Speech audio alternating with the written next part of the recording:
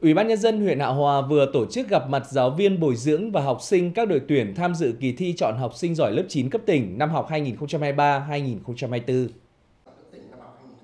Tham dự kỳ thi chọn học sinh giỏi lớp 9 cấp tỉnh năm học 2023-2024, huyện Hạ Hòa có 105 em học sinh tham gia thi 9 môn học là địa lý, ngữ văn, lịch sử, tiếng Anh, toán học, vật lý, hóa học, sinh học và tin học. Các em đã được bồi dưỡng rèn luyện củng cố các kiến thức, kỹ năng làm bài thi, đồng thời tiến hành hai vòng thi khảo sát để rút kinh nghiệm.